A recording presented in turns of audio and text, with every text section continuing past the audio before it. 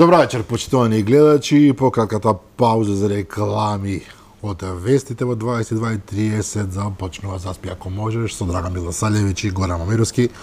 Вечерва и утре ќе се јавиме од нашето алтернативно студио. Верувам дека нема да имаме никакви проблеми во врска со тоа. А наша вечерашна гостинка е а, една изворена дама, самата за себе вели само наставничка во Радиовчески Корчагин, Скопската гимназија, господјата Татјана Алексич. Добра вечер. Добра вечер.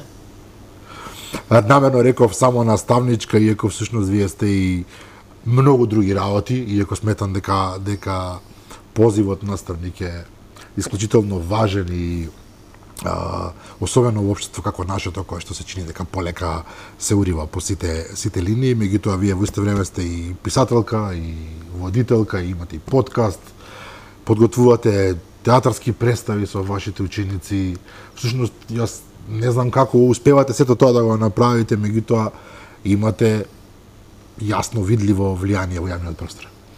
Па сето оно што го наброевте не е професионално, само учителка е оно што е важно и таму сум професионалец, писателка не сум воопшто, јас сум само автор на една на еден прв македонски азбучник сексуална азбука или лексикон. А другото е онака попатно што го правам во, во, во животот, аматерскиот љубов, меѓутоа не е ништо професионално. Да. Добро, е, и покрај скромноста, јас ти кажам дека ја имам пред мене е, книгата Азбучник, како што вели господат Алексијич, сексуална азбука која што беше промовирана пред 10 на 15 дена ако не се лажам, а завчера се појави и на сајмот на книгата каде што имавте дополнителна промоција, ако така да, смеам втората да, гранде промоција. Гранде да. промоција.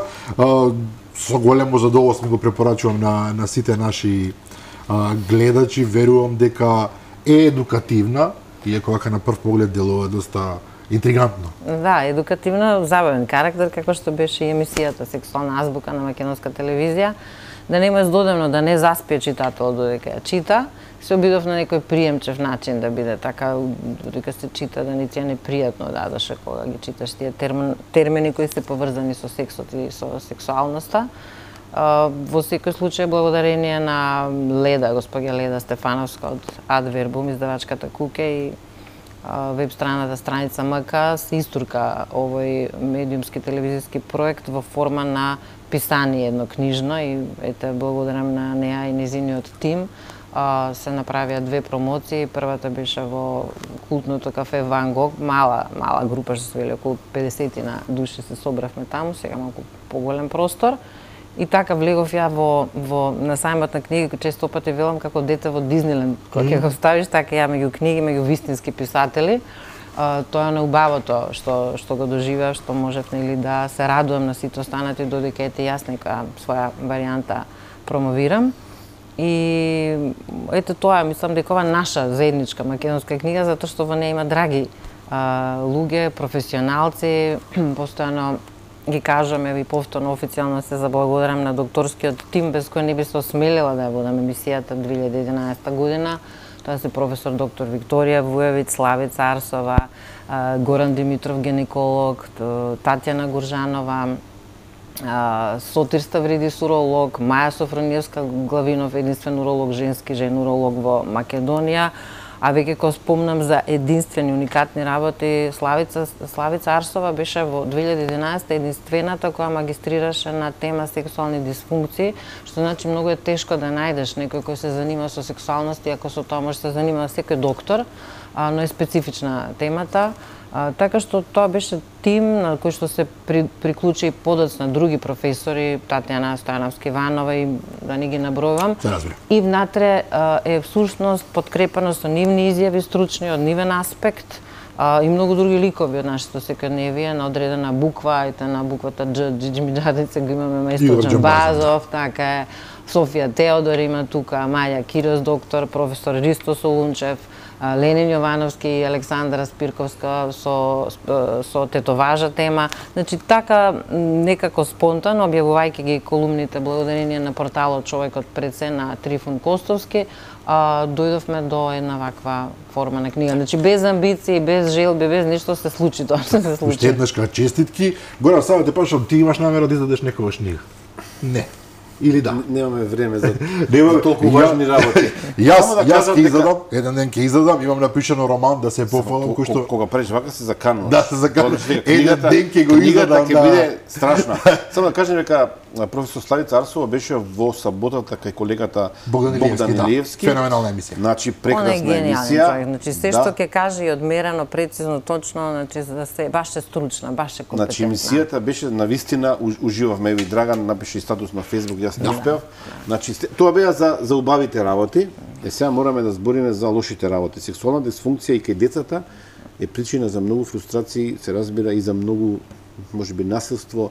Ќе се обидеме вечерва во разговор со со вас, вие сте искусна со деца работите колку веќе 20 на години. Со адолесцентни, да. Да, значи луѓе во нај во најсериозната возраст од животот и сакаме да да да дознаеме неколку работи кои што се важни од аспект на она што се случува во во Србија последниве десетина дена за жал, но и во Македонија. Имавме завчера имало тепачка во Тетово на пример денеска има вечерва најновата вест, еве тргнеме со Да. најновата вест, две девојчиња од 12-14 години од Струмичко, од Струмичко, токму Попладнево така. се изгубиле во, во Скопје, се уште позитивна информација велат дека девојчињата ги нема, телефоните не им се достапни. Тоа се девојчиња од Струмица кои што биле на училишна екскурзија во Скопје, според ова што успеам да го најдам на на на Facebook, се уште ги ги нема.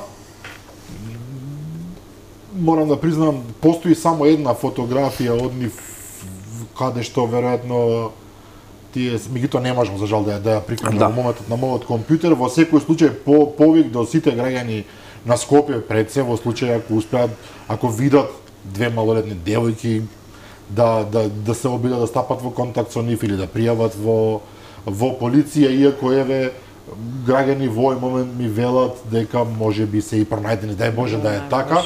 Но ќе ќе почекаме потврда во секој случај една неубава неубава ситуација, особено во во момент кога се уште сме под страшно влијание на она што се случи што се случи во соседна Србија.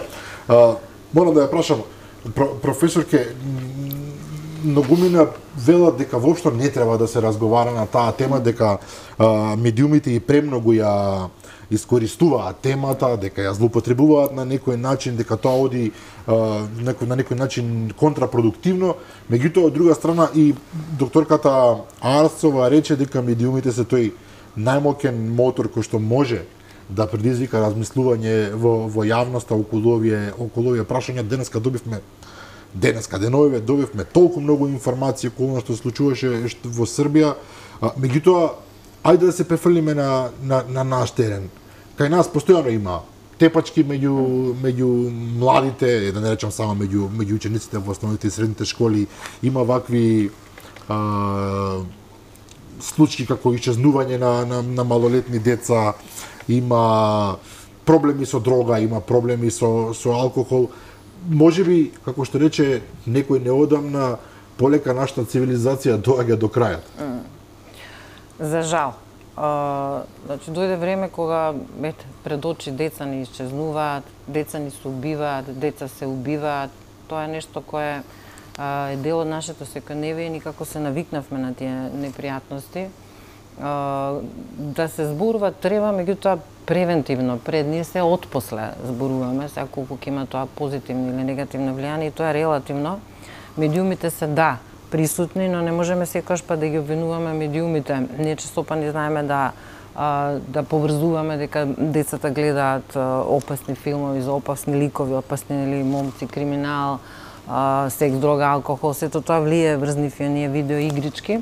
Меѓутоа ако е детето здраво психички, ако е воспитано на база на емпатија, на сочувство, било каква непријатност да гледа, ке него нема да потикне ситуација да сака да ја повтори таа таа непријатност и не можеме да кажеме тогаш треба да се исклучиме комплетно да речам имаше едно време па може пред 15-20 години момче кој уби две баби постари постари жени и го нарекува Расколников од Драчево каде беше а, сака дури да забранат книгата романот на Достоевски злосторство и казна. Значи, тоа не може, тоа е невозможно. Старите грци правеле трагедии за да доживеат катар за гледачите, за да се исчистат од гревовите да не го повторат. Овде тоа... се кај се идеја да се забрани TikTokот, например, социјална мрежа. Па, тоа може би, да, затоа што многу мали деца а, гледаат а, TikTok и други нели портали, оние што се deep dark, уште пострашни, каде што буквално можеш да дојдеш до информации како да направиш оружје, како да убиеш, како да дилаш дрога, а, сериозно опасни информации кои кај малите деца не, зна, не, не знаеме што е во нивната глава, како се то тоа го преживуваат и го доживуваат. Меѓутоа не можеме секогаш да ги обвиниме дека тама е вината. Кога некој пак е повторам, тоа е висто како еве да спомнам сексуално пореметен човек, манијак или педофил, обвинува девојка ако влегла навечер во такси со мини здолниште или дете некој, ако му се шета голо, па нели ме испровоцира. Значи, тоа е разликата. Едно, едно здраво воспитано дете и да доживеал булинг. Предпоставам дека имало булинг од секогаш имало. А не треба да се реагира не сме да се реагира така убиствено. Од, од она, значи не можеме сега многу работи се слушаат под медиумите, се е шпекулација додека не се обелодени, а предпоставам дека за тој случај работат веќе со него експерти, може би нема ни јавно да кажат што било во неговата Зборуваме глава сега за, за случајот во Кецмановиќ за детето да, да. да, во Да. Белград, кој е, буквално е, го, го испланирал сето тоа како професионален убиец. Неверојатно како да е од Марс паднато тоа суштество да може така од 14 метра да убие, да го убие чуварот и да е, буквално ладнокрвно. Ние не го знаеме изразот на неговото лице, меѓутоа ти да испланираш во одредено време да излезеш да викнеш полиција, а, да го фател, предпоставам, да го фател полиција додека пука, може би да го убил некој. Значи, он Тој интересен буквално- момент ќе ве прекинам кога полицијата дошла. Го изводил на куршумите, како се тоа, Шаржер. Шаржерот, да. го фрлил на страна, пиштолот Да. на друга страна и ги дил рацете. се разоружал, значи, значи бил спремен да се Да, Значи сепак му е драгоцен животот. Да. Втора работа, многу интелигентно момче нашле на неговиот е, компјутер дека истражувал за законските облигации на деца под 14 дека не може да години. биде суден.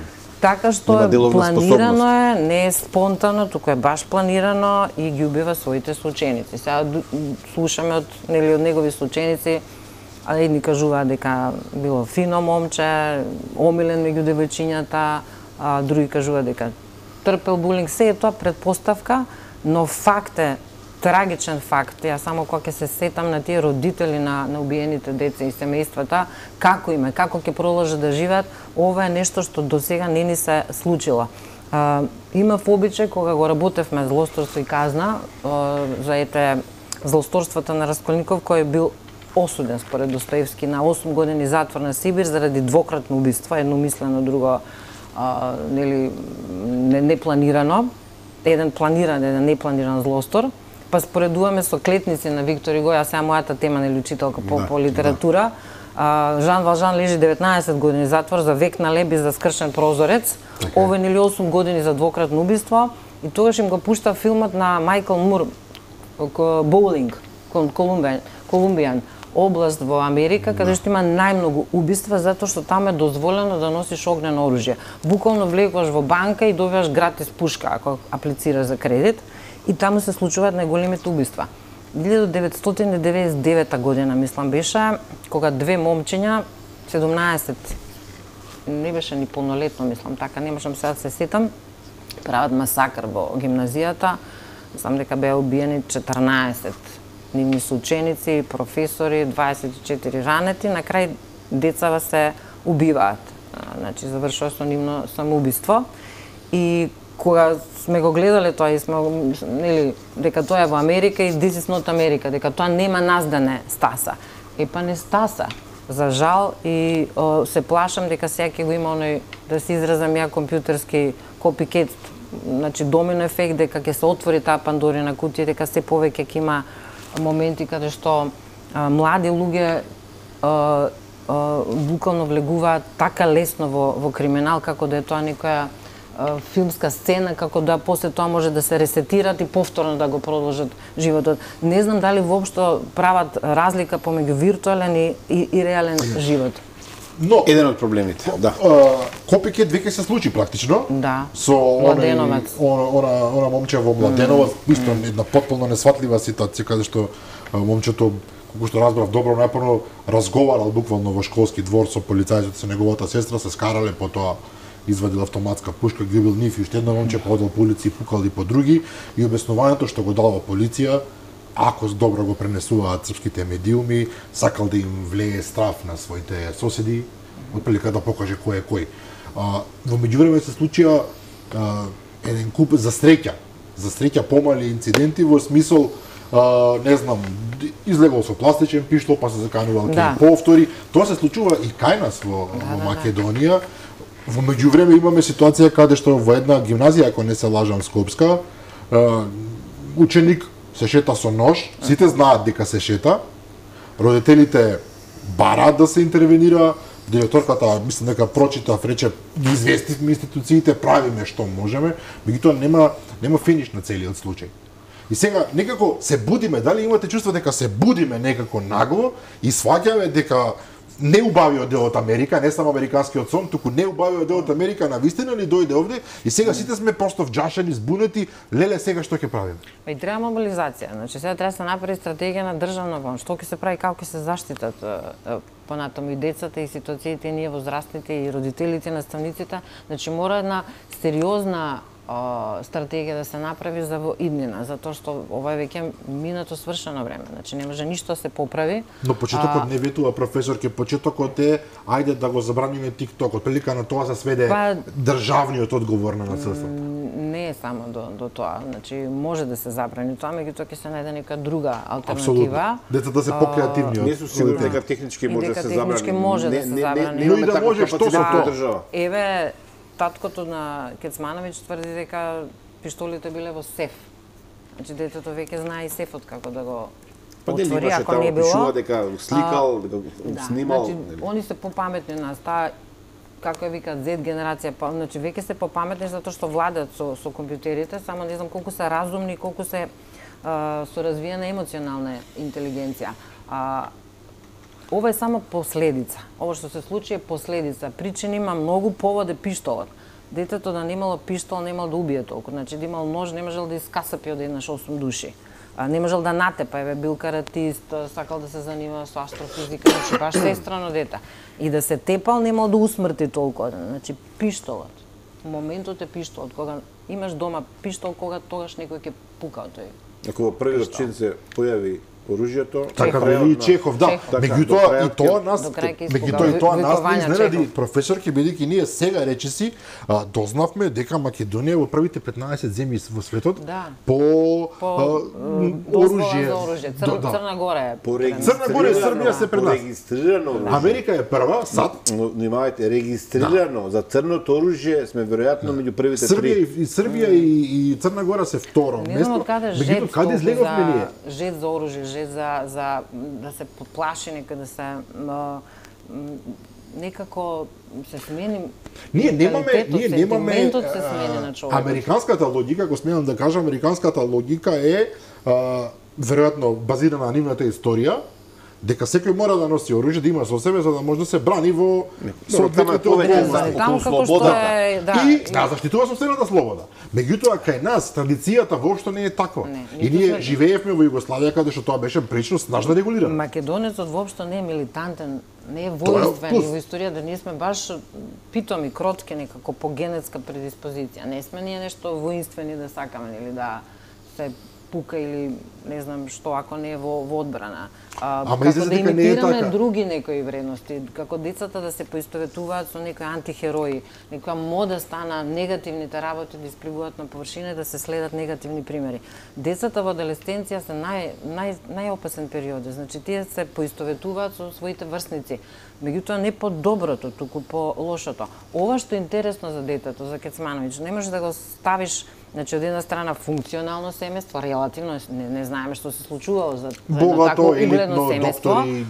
А, о, о, одличен ученик, значи не е до ние што се а, деца со недолично однесување, од друга страна прави ваква едно планирано монструозно убиство. Значи немаш да го класифицираш или е позитивен или е негативен. Значи многу специфичен случај за анализа Не и оно што најмногу да. ме плаши што тој сам се пријавува, кажува дека е психопат и уште пострашно што има следбеници на интернет порталите на, на Facebook кои го величаат и му го поддржуваат, то мајсторе, царе. Значи тоа е уште пострашно што има дел од, од луѓето, од младата популација која се идентификува со него и се плашиме сите стравуваме дека ќе се најде некој што би го повторил тоа ако му се може, ако има достапен достапен пиштол и достапно оружје. Значи нешто нешто многу ја ја оплескавме да се изразам сленговски. Но Децата нели се се воспитуваат, да речам со во, во значително преку тие два методи имитација и идентификација, најчесто со родителите. Во времето кога ние сите брзаме некаде пари да направиме, успех да направиме во кариерата, да платиме сметки и така натаму, на кого се огледуваат децата, кого имитираат, со кого се идентификуваат? Со овие ликови што ги споменавме предходно од сериите, од со шкалерски кланови, со банди нарко, Со Кристијан Голубовиќ. со со Да, задруга. Задруга, да. Е, Дали тоа, тоа е, јас тоа би забранила, еве. Задруга, од кога зборувам за тоа? Уште 2011 кога го почнав проектот на сексуална азбука, тогаш се лутев, затоа што реалити шоу да е во 12 на пладна емисијата моја трга по полноќ.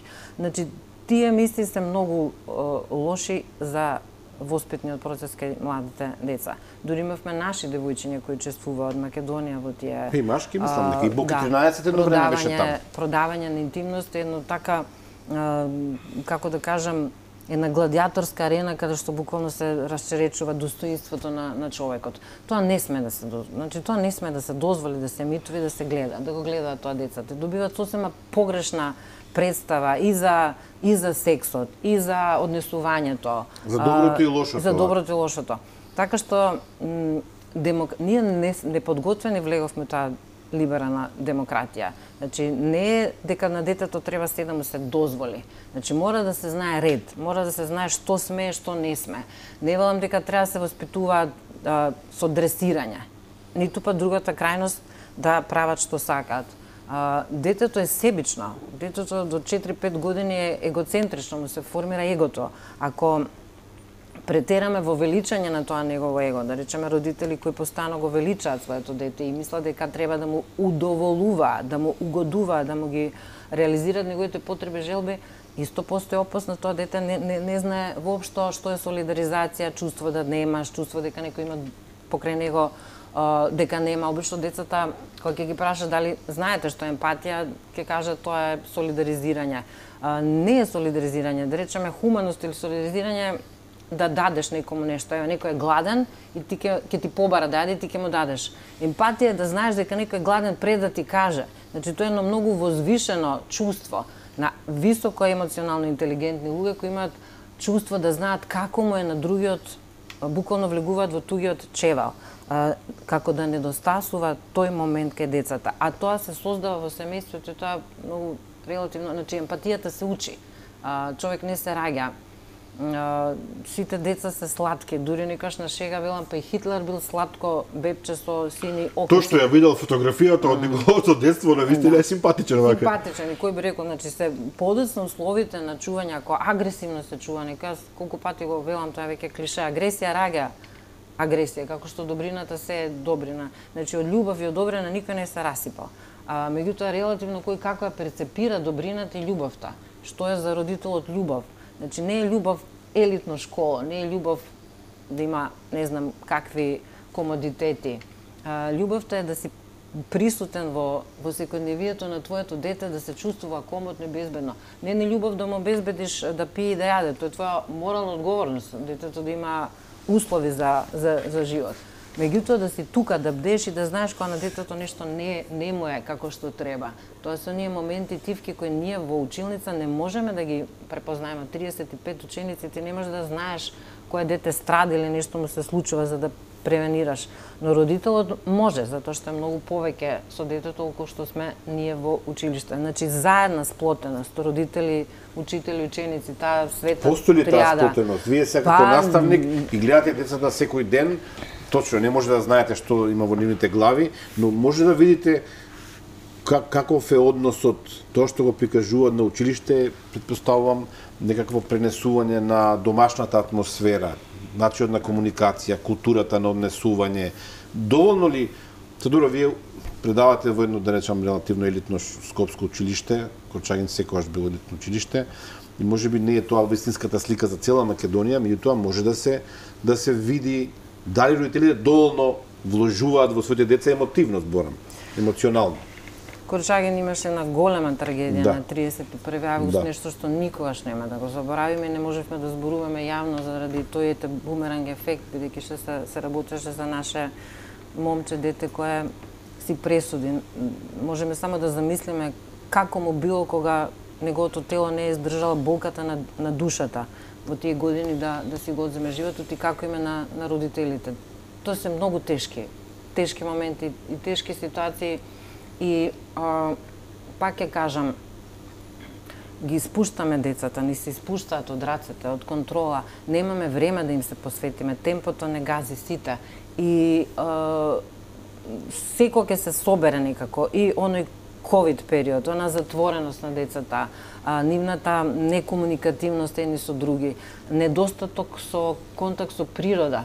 Значи, кога детето се игра во природа, се дружи, има време за дружење и комуникација, тоа е на добар пат да, да се развие во здрава личност. Ако детето се изолира и неговиот единствен пријател е компјутерот или а, и телефонот, не знаеме што ќе излезе од тој, тој компјутер или тој, тој телефон и што ќе влезе во неговата психи и посвет и како ќе се емитува тоа понатаму. играме по многу тенка жица, професор, ќе морам да, да, да ви кажам искрено, не постои родител кој што веројатно не се прашува а, како како треба да да постапи затоа што безброј прашања се отвараат пред сите нас. А, и, и не знам, веројатно не постои најка која што тоа може да ни го да ни го објасни, веројатно се во прашање и инстинкти, веројатно и некоја етичка морална одговорност што мора да, да, да постои во нас свеста дека сме одговорни за живи битија, не само како што велите вие за да се да им се обезбеди кров над глава, јадење и пиење, туку да израстат во навистина а, сериозни, здрави, Здрави прави личности. личности. Овдека само ќе ја замолам режијата, се надевам дека успеавме веќе да да ни ја пушти фотографијата од двете девојчиња кои што се водат како исчезнати. Да, значи еве да да повториме, се работи за две девојчиња од 12 и од 14 години од Струмица, од селото Петралници, се работи за Антонија Јанкова и Радмила Иванова, се надевам дека роднините нема се неото што ги спомнуваме со име, меѓутоа може да биде од корист за луѓето кои што евентуално би ги сретнале. Од 16 часот се трага по нив. Она што лично мене ме, ме нервира и во овој момент е дека многумина објавуваат непотврдени информации дека девојчињата се пронајдени иако луѓе кои што се поврзани со роднините велат дека тоа не е точно, навистина не знам зашто еве и овој и овој пример покажува колку колку сме искривени како општество на кого му треба да пи, да пишува, да објавува дека се пронајдени, практично да да прави а, недоразбирања и да, да што сака да постигне еден таков човек. Еве овдека зборуваме за една за еден идиотизам обичен, Да. неодговорност на, на, на луѓе кои што од причина што сакаат да бидат славни во моментот на социјалните мрежи објавуваат да, пронајдени се. Се и се што се објавува и лажни вести може за Секој ден го следиме тоа. Се, се плашам дека на вистина, на вистина влегуваме во еден Нема круг на цензура веќе, пак ќе кажам демократијата што направи, се знаеше порано кој можеше да излезе на телевизија. Еве ја порано Е, немаше да ме викнат мене, ќе опасно викна експерт, психијатар, психотерапевт, немаше викнат една учителка да зборува за. Значи имаше страшна цензура и така треба. Нема Мисли за дека така треба? Така треба. Значи треба да се знае кој зборува, што зборува, како зборува, во која емисија. Не може да отидеш во секоја емисија. Јас се сеќам на еден случај кога Ица Дачич влезе во емисија кај водителка која му го покажа меѓу ножето на сред емисија и тоа беше вест која ја обиколи Да. цел свет за за Министерот кратко време и тогаш баш пишува Нобле за оближе, значи твојата титула те обврзува да внимаваш каде ќе отидеш и со кого ќе отидеш. Сега веќе демократија може кој што сака да прави и каде сака да оди и со кого да зборува и секој може да биде новинар, водител. Некако немаме, како да кажам, критериум. Ги изгубивме сите критериуми и направивме едно декадентно, испревртено општество со испревртени вредности. А, оно што некош било лошо, сега станува добра. Се, се поместија работите, тектонски се изместија. Малку да, да се го не споменам смееме, тука- секој може да биде новинар, секој може да, биде Па волонтер. еве јас не играм, ја бев новинарка исто водител, Се- влегов како учителка, но, но веројатно, веројатно ми е многу важно. А, ова не е само демократија, ова е мешавина на неиспевертирана демократија и капитализам. Да, не Капитализмот е оној кој што вели дека потрагата по, по успех и по, и по пари и по слава а, практично не им дозволува на луѓето да запрат. Дали во себе промоција, дали во само истекнување и на места каде што не треба да видат.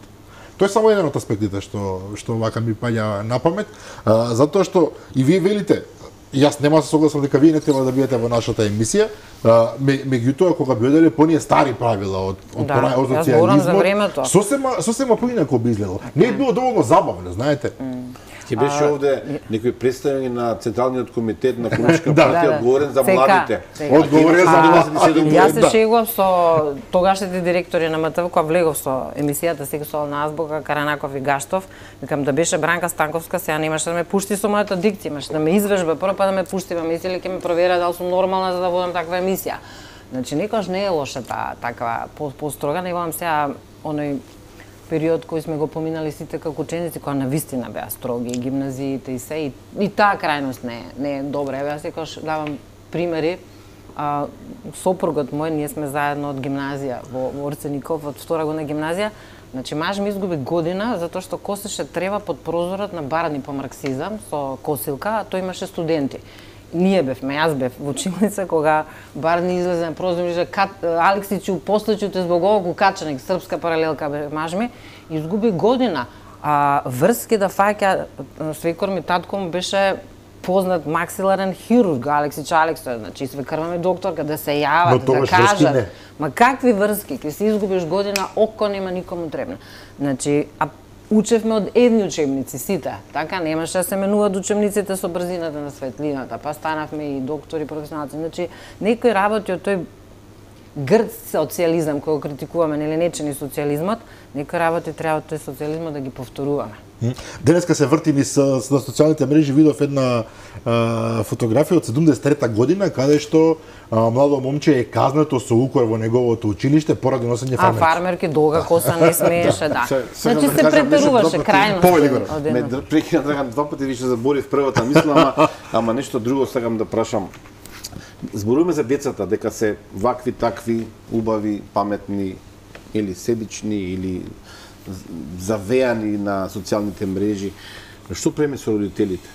Јас познавам луѓе кои што на на Facebook го трошат или на Instagram, тоа е веројатно и популарно, трошат часови, часови, а, ми се чини дека ние сме тие кои што треба да ја, да ја одговорност да ја преземеме.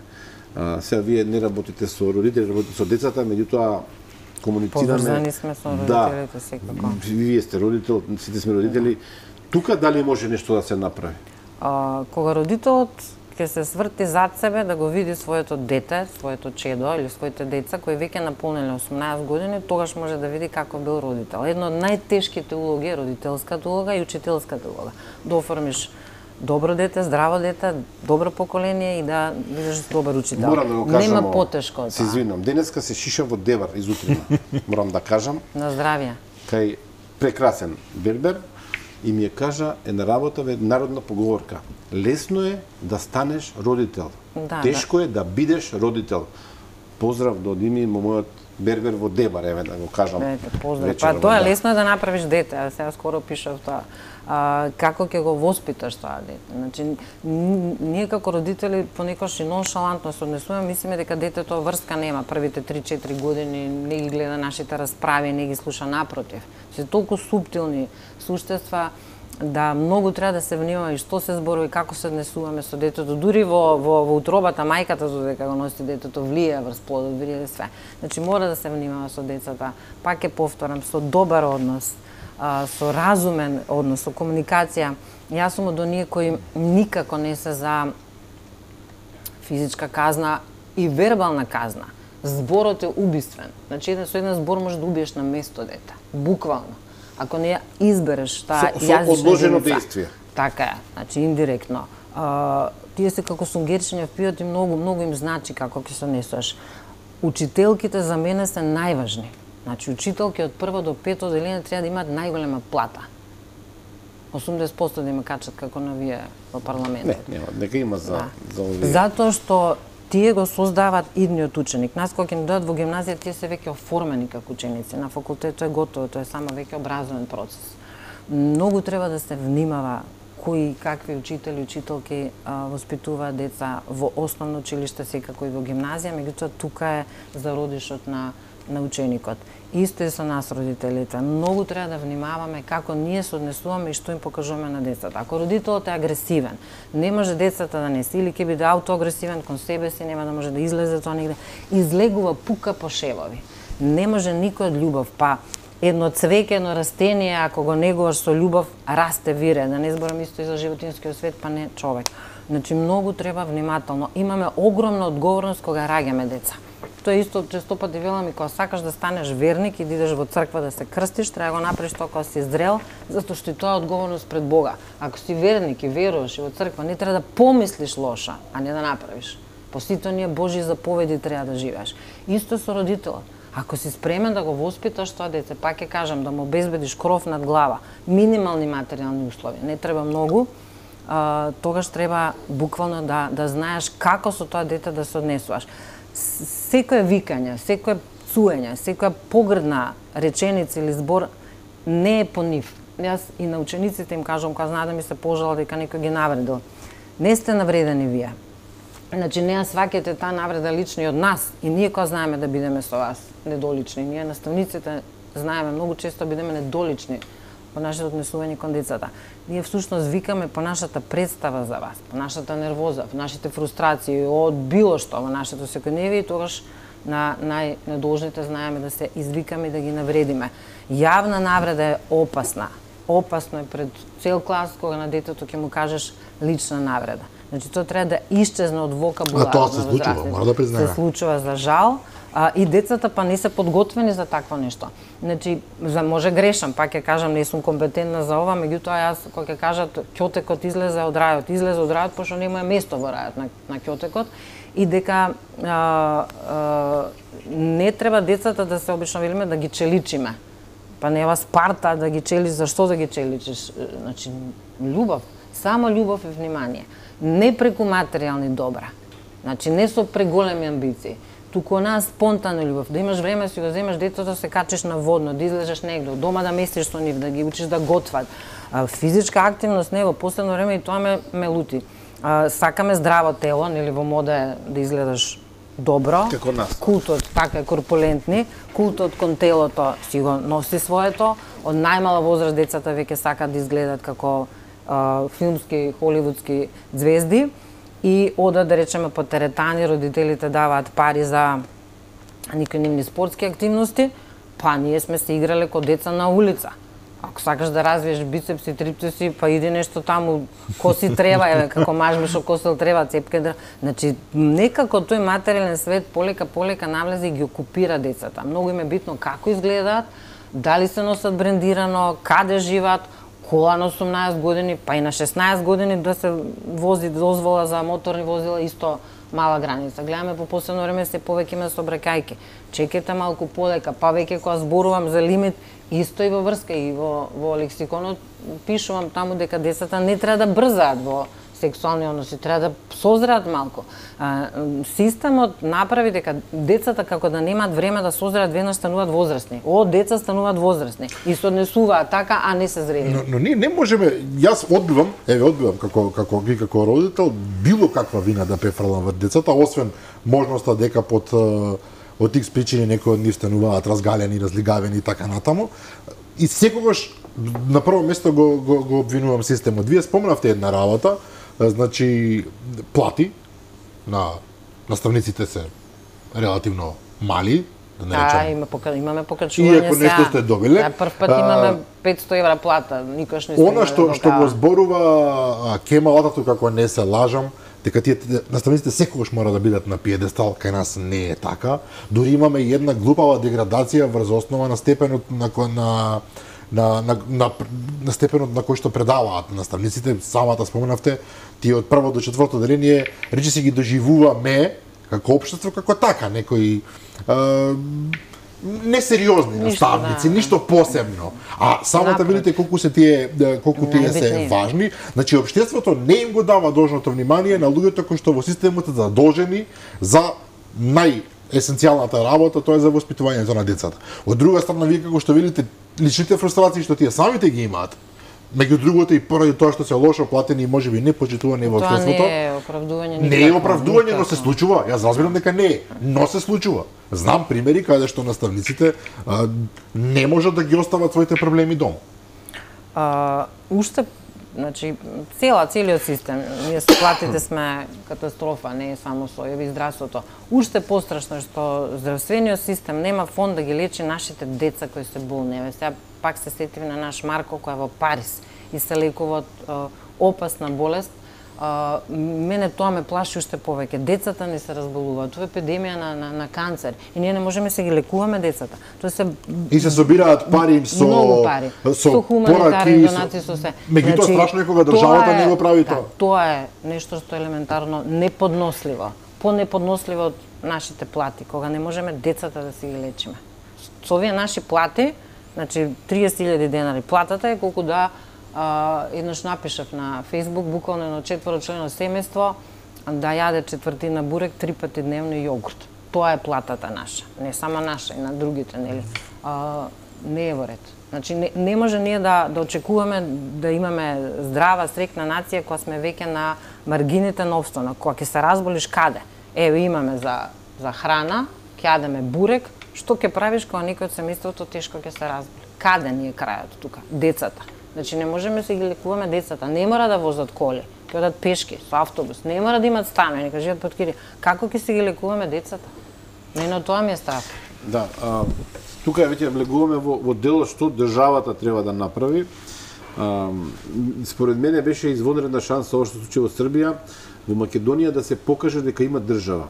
Споменав тој инцидент што се случил пред веќе три дена во Тетово, група малолетници нападнати од страна на друга група малолетници, меѓу кои што имало и постари луѓе, и цели 40 часа децата напаѓачи, кои што во два наврати ги тепале другите деца во Тетово, не биле приведени, уапсени, преведени. така. Па нема, нема казнена метода, нема. И веднаш, за, видите се, за Ламбе, на пример, Лабаковски, во, кога го запали културниот центар во, Бугарскиот центар во Битола, Битола, да. го најдува веднаш, за неколку часа. Овде, цело Тетово знае, значи ова ми го кажува мој другар албанец, цело Тетово знае кои се децата, но, но цело Тетово знае дека тие деца се блиски до една партија на власт и министерот за внатрешни работи, тука се тој е символот на МВР, молчи и дури изутринава чина нека ги повикале на информативен разговор, не знаеме детали од тоа. Значи тука имаше можност државата за да спречи било какви реперкусии од се случи во Србија, веднаш да ги приведе децата и родителите ако треба и да ги Да. преземе сите мерки. Ние овде оставивме можност тепаните да најдат некое оружје и да вратат и ние да имаме овдека исто така голема трагедија. Државата што може да направи? Без разлика кој е на власт, не, не збориме Не, за да, не е политички битно. партии. Па тоа нема, нема, нема буквално начин да се казни. Се е со мито и со корупција. Значи, ние сме една корумпирана држава која со години наназад не ги казнува виновниците, злосторниците за тие злосторства. И тоа е пример. Значи, кога нешто не е казнето, даваш, даваш пример дека така ќе поменеш и ти. Ако има казни соодветни, ригорозни, ќе се подзамисли некој дали да го направи тоа. Во Србија има многу добар пример деновиве, враќаат тука е комбинирано се од медиуми и институции. Синот на Зоран Славнич, кој што сега е дел, многу заборив името првото како му беше, сега е дел од некој од тие шоуа. Зоран Славнич е оној светски кошаркар. Да, кошаркар од Зоран Славнич, знам. неговиот син а, е дел од задруга веројатно, не знам, таков некој лик, е човек кој што убил 21 годишно момче И никому ништо. и на судењето покажувал среден прст на мајката на убиеното момче. А, по 8 години во затвор излегува и станува звезда на овие реални шоу. Да, па тоа е И тоа е сега моделот кој што тоа зборевте преска вие во некои други времиња тој човек немаше да може да дојде до телевизија до паркинга не да станува главна звезда Тоа е време на антихерој. Ај тоа, на децата идоли им се негативни, негативците им се идоли. Старлети и криминалци. Да, баш така. И таму си парите, таму е могта, таму е се и тоа го гледаме, ништо не можеш. Nothing to be done, што би рекол Бекет. Имаш имаше уште еден страшен пример, убиен хрватски од ракометар Тот беше убиен Да. во Кај нас, да. Кај нас, така. Значи, и тоа во, во прилично страшни Од млади околности, луѓе, со- апсолутно, Со да. шотирање во, во глава, додека е легнат. Меѓутоа, меѓутоа овој да. феноменот на на на реалити шоу преполни со со со, со будали очигледно не може да се спречи бидејќи тоа е некаков светски тренд или западен тренд како да го наречам денеска гледав. Смеам ли јас воопшто да, да коментирам од други телевизии? Во српски смеам веројатно А, денеска гледав Па да демократија да, или да во на Пинк има една позната водителка, и го заборавив името, која сега е ултра популарна во Србија од некоја причина, која што објаснува дека телевизијата врши голема а, педагошка практично дейност затоа што во задруга кога има тепачка меѓу меѓу тие тама учесниците, веднаш влетува обезбедувањето и ги спречува. И со самото тоа им покажува на на гледачите дека ете агресијата не е, не е прифатлива и не е дозволива. Ова само како пример во ситуација кога тие луѓе тама се занимаваат со со најобскурни нешта. Меѓутоа ме интересира на- професорке, наставничке Алексич, а, вие работите сепак со средношколци, со, со, со гимназијалци. Во таа фаза, значи тоа е од прва година до четврта, по 15 години од прилека па до, до, до полнолетство, забележувате сериозни разлики сега во однос на, не знам, генерациите пред 10 или пред 20 да, како години? не. Е, Во однос, тука зборувам за агресија, за невоспитаност, за пренадуеност, за препотентност, Сменето е секако, меѓутоа јас имам обичај да кажам дека не можеме сега ние да бараме од овие деца да живеат како што сме живееле ние во без минатиот пред да век. кажете за вашите Да, сегашни ученици е, дека да. се лоши во ред. И не се, ја пак ќе кажам нема нема лошо дете додека не направи нешто лошо криминално како што е овој случај. Тука веќе нема остапки. А, значи ние треба да се прилагодиме на оваа нова генерација на нивните услови. А, сепак на младите останува овој свет кој го расипавме со лоша политика и лошо владење веќе три децении наназад и не можеме постојано да ја бараме вината, значи не ни треба да ја бараме вината во нив, туку во нас возрастните и во целиот систем. Нас децата ни се оцелуваат. Тоа е, Тоа е- страшна тоа една, значи огромен, нас да. ни бегаат капацитет деца. Деца кои се буквално столбот на една држава. Пи, зошто би а ние да увезуваме ефтина работна сила. Е па не може да биде добро. Значи не може да биде добро кога ни оди нешто што е добро и некако постојано се оди кон таа што би рекол професор Венко Андоновски негативна селекција. Наместо да задржиме луѓе кои се квалитетни, ние постојано па и со власт и сегде бираме луѓе осредни, просечни и екипата околу нив таква и затоа ни е така целиот систем. И децата им даваме погрешна порака со тоа. Они кога гледаат дека некој може полуписмен, неписмен или со купена диплома или било што да владее, да биде на некоја позиција, а, зошто да не тоа? Значи, негативните работи побрзо ги учат отколку позитивните работи. Тоа Па е и нешто... полесно да се учат. Започнав еден пример, некаков познат лик во соседна земја во 2012 година завршил а, факултет, политичар познат, а потоа кога дознале дека немал средно, во 2015 го завршил и средното училиште. Да, да, Ова само се како еден манипулира. бизарен пример Ова што се е случува. ера на манипулаторство. Значи манипулатори се веќе мислам дека оние водат целата глобално но, во светот. Значи предатори, психопати, веќе еве мали психопатчиња, социопатчиња, сраги. Ние ги произведуваме, значи направивме можно да се создаваат Да такви создава, деца да. кои се себични, кои Добро, некој ќе немаат- рече дека некој ќе рече дека сепак тој облик, екстремните, како ова што е со со ова мало дете Богу. се не во смисол тоа тоа се тоа се персоналитети кои што го има тоа во себе. Не може секој човек да го направи тоа. Дури и какви да се околностите, не може човек да извади пиштол Па туку затоа така да велам, пука во експерти други. ќе го кажуваат Да, ова се, се разбира. да. Меѓутоа, меѓутоа, а, Оно што мене уште повеќе ме запрепасти, иако со резерва земам све кога зборувам, е дека тоа мало момче сега таму каде што се наоѓа, не сме ни сигурни точно каде е, а, во некоја институција во, во Србија, единственото Невропсихијатрија. прашање што го што го интересирало и кој што постојано го поставувало е дали сум главна звезда. Значи, дали сум главна звезда. И оно што исто така ме запрепасти, може би го спомнам во, во видеата што се појави на денот на, на масакрот, во моментот кога полицијата го водеше, децата од соседните училници, нивните изрази не беа на, на исплашени деца, туку беа изрази на лица кои што се возбудени поради фактот дека тука покрај нив има еден опасен лик.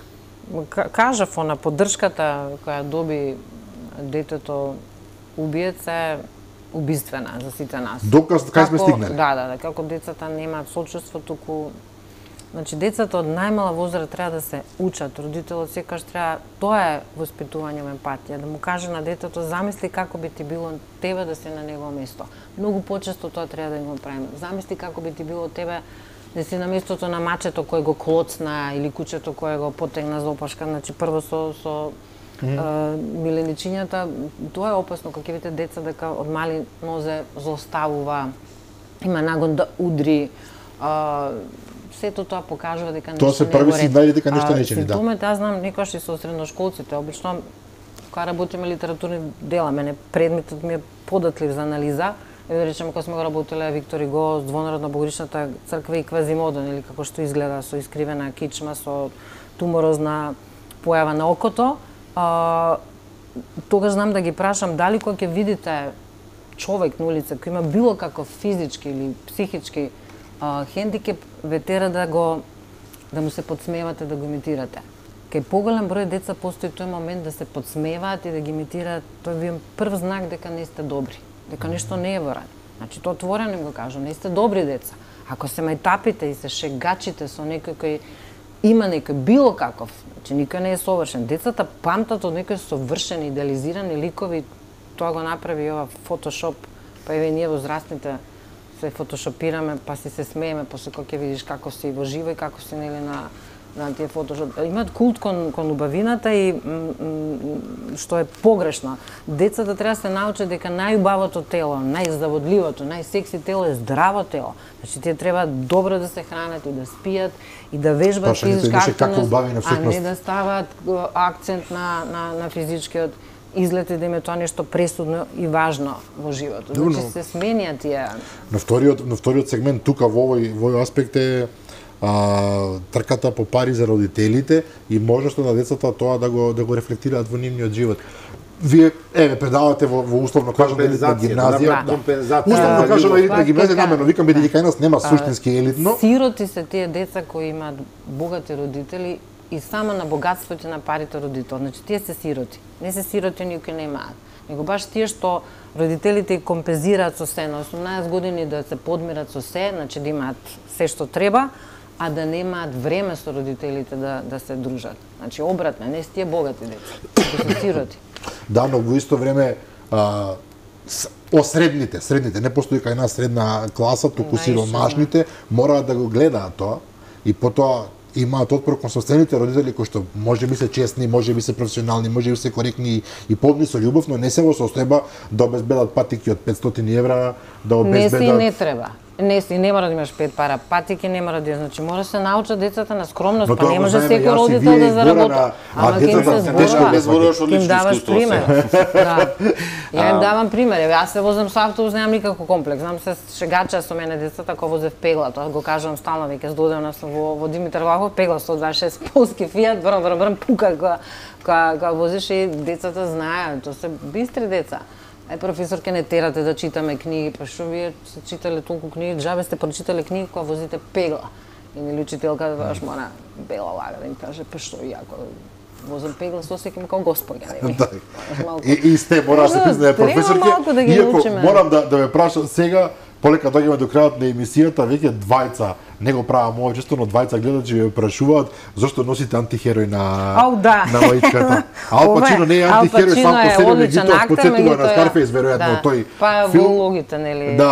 мафијаш. Ова ми е подарок мајца, да, и ја носам затоа што ми е пријатна вака бидејќи е свилена А Ал Пачино како актер го почитувам, како да. актер е феноменален, а улогите негови не можеме да ги да ги споиме со неговиот лик, тоа е исто како сега мараш да почнеме да го мразиме овој акторов како се викаше, Биковиќ. Биковиќ, да, да го мразиме него затоа што глуми негативен лик.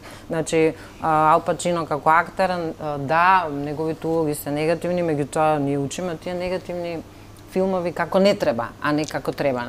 Така. Да. И за крајот, на прашање околу маги... магичниот круг.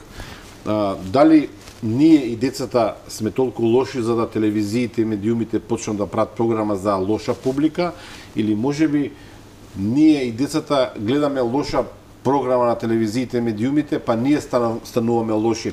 Сега да кажам овде Изборот. Да, овде е еден, еден цитат кој што го прочитав преска на профилот на Дамет Чкатровски на, на Facebook. А, кажува што објавил Желко Митровиќ, газата на Пинк, нели, во 2021 година кога е обвинет дека е обичен воен профитер. А, и се го обвинуваат нели дека додека гинеле јадници луѓе, тој со помош на жена му на Милошевиќ, Мира Марковиќ, правил милиони и така натаму, со пари не може да се купи достоинство и така натаму. И Митровиќ што одговори?